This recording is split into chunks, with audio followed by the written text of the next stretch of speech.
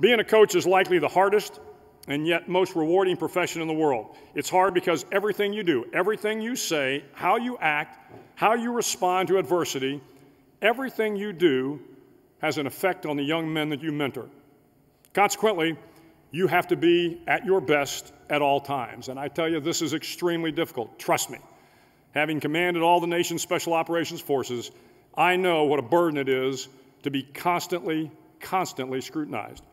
But it is also incredibly rewarding when you do the right thing.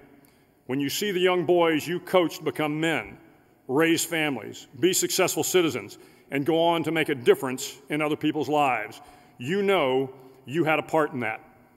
I often tell the story of when I was running track in high school. I was attempting to break the school record in the mile. The week before, I had come close but fallen just a little bit short. It was the final race of the season, my senior year, and candidly, I didn't think I had it in me to close the gap and break the record.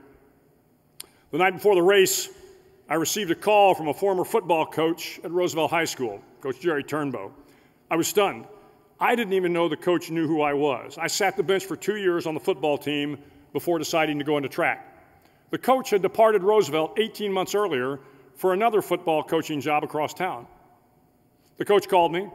He told me that he knew I was running my last race.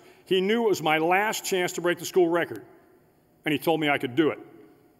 All I needed to do was to run my hardest, give it everything I had.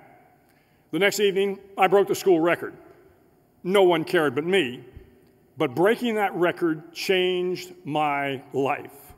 It gave me the confidence that I could do anything I set my mind to. And four years later, I became a Navy SEAL. In the course of my 37 years, I have likely affected the lives of tens of thousands of men and women. I only had this opportunity because a football coach took the time to call me and give me a few words of encouragement.